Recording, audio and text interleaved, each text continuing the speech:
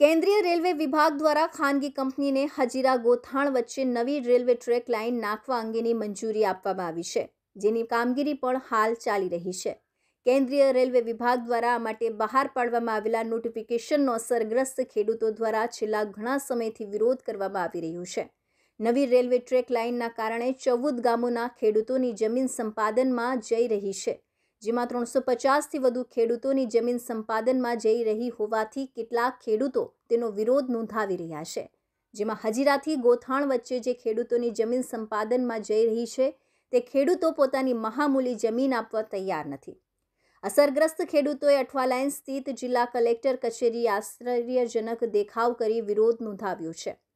અસરગ્રસ્ત ખેડૂતો જિલ્લા કલેક્ટર કચેરીએ લીલા શાકભાજી, હળ ફળ વિવિધ વિભાગોમાં કરાયેલા પત્ર વ્યવહાર થકીની રજૂઆત સાથેના પત્રો લઈ આવી પહોંચ્યા હતા, જે ખેડૂતોએ સરકાર સામે ભારે સૂત્રોચ્ચાર અને નારેબાજી કરી પોતાનો રોષ વ્યક્ત કર્યો હતો. એટલું જ નહીં, પરંતુ જાન દેંગે પર જમીન નહીં દેંગે સાથે નારેબાજી કરી ગાંધી ચિંધિયા માર્ગે આંદોલનની ચીમકી ઉચ્ચારી હતી.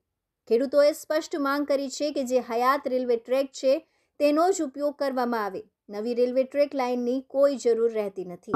મારું નામ ધનસુખભાઈ નાનુભાઈ પટેલ અસરગત ખેડૂત ડામકા મારો સર્વે નંબર છે ચારસો તોતેર જે મારો બારવીનો સર્વે નંબર છે, એની અંદર સરકાર વચ્ચોવચ્ચ જમીન છ્યાસી ગુઠા જમીન જ્યારે સીધી રહી છે, ત્યારે અમારે દુઃખ સાથે કહેવું પડે છે કે અમારી મહામૂલી વડી ચોપાટી જમીન, મહામૂલી જમીન છે. એની અંદર અમે આવી રીતે શાકભાજી ઉગાડી, જીવન ચલાવતા હોય અને જો એવી એ જો સરકાર લઈ લેશે તો અમે તો રોપા આવી જઈશું અમે ન ખરીદી રહીશું કે ન ભિખારી રહીશું, એ એવી દશા થઈ જશે અમારી.